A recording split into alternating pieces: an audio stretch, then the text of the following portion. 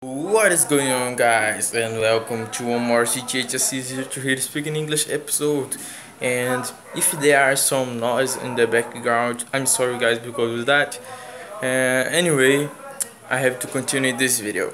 And I have a quick recommendation for you guys in this video which is a book a book that was written written by Steve Kaufmann. Yeah Steve Kaufmann, that famous Canadian polyglot, and which is one of my favorite polyglots, and I'm really enjoying his book, and you guys can get it for free if you guys download and if you guys install in your smartphone the, the app called LingQ, which is which were developed by by Steve Kaufmann.